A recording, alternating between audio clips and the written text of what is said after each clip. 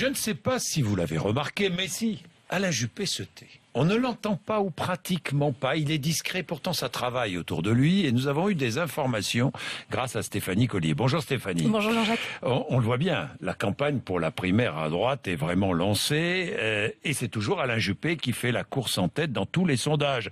Avec une stratégie bien conduite, multiplier les visites de terrain en petits comités sans personne. Pas de presse, même pas de presse Presque jamais. travailler le programme et en dire surtout, mais alors surtout, le moins possible. Exactement. Regardez les débats qu'on a eus ces derniers temps dans la classe politique. On a eu la déchéance de nationalité, on a eu la crise agricole, on a eu la Corse. Est-ce que vous avez entendu Jean-Jacques, Alain Juppé s'exprimer longuement sur ces sujets? Pas du tout. Non. François Fillon l'a fait, Nicolas Sarkozy évidemment l'a fait. Alain Juppé a dit le minimum sur la déch- déchéance de nationalité. Il a dit je la voterai. Point. Barre. Autre exemple, c'est un peu de la cuisine interne, mais quand même ça en dit long.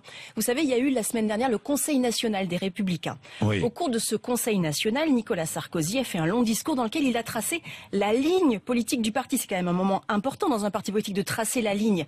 Est-ce que vous avez entendu Alain Juppé commenter, Non. dire ce qu'il en pense? Pas du tout. Rien, il n'a même rien. pas fait de discours au Conseil national des Républicains. J'ai encore est un allé à exemple. Calais. Mais oui, il y est allé en trois Pour semaines, voir les migrants. deux fois. Et, et- et les habitants de Calais. Deux fois en trois semaines. Là Personne ne l'a su. Pas du tout, parce qu'il y va en toute discrétion, il rencontre tout le monde, il fait son bonhomme de chemin sans trop parler. Alors il y a un parlementaire proche d'Alain Juppé qui travaille avec lui, qui me disait la chose suivante il y a quelques semaines, il disait notre stratégie, c'est d'en faire le moins possible et de faire en sorte que la parole d'Alain Juppé soit rare pour susciter le désir. C'est tout un programme, hein, susciter le désir, mais c'est la volonté d'Alain Juppé.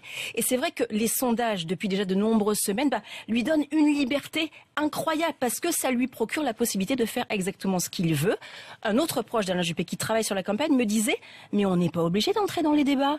On n'a pas besoin de promettre les grands soirs parce qu'on peut peaufiner tranquillement la stratégie. Les sondages ne nous obligent à rien. Voilà. Oui, en coulisses, justement. Vous êtes allé voir, enquêter. La stratégie est peaufinée. Exactement. Alors, il y, a, il y a- il y a deux sortes de stratégies. La première, elle est locale, c'est-à-dire que depuis déjà de nombreux mois, là encore, on le sait peu, mais il y a des comités Alain Juppé qui se créent un peu partout en France. Je dis, je voyais encore la presse quotidienne hier, il y en a un qui s'est créé à Lisieux avec 17 personnes.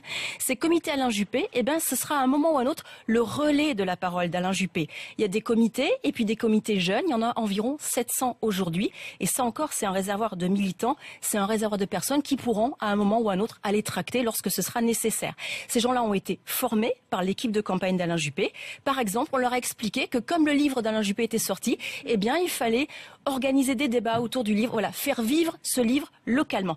Autre chose, parce que ça explique la stratégie d'Alain Juppé, ils ont mis en place un système de logiciels qu'ils utilisent pour savoir exactement où il faut aller, où il faut se déplacer pour bien cibler les gens qui vont Des voter à la primaire. informatiques, Exactement. hein, Alors, il y en a deux. de cartographier le terrain électoral. C'est incroyable. Des, ce sont des logiciels qui ont déjà utilisé dans- été utilisés dans des campagnes locales. À la base, ce sont des logiciels de géolocalisation. Ça vous permet de croiser plein de données, des données euh, démographiques, des données sur euh, la criminalité, des données sur le nombre euh, d'écoles qui sont là. Et comme ça, vous ciblez exactement chaque lieu. Vous savez ce que vous devez dire aux gens et comment bah, leur parler. Donc, ça permet d'affiner la campagne. L'autre outil permet de créer une sorte de Facebook électoral où vous voyez en temps réel le nombre de militants, les dons.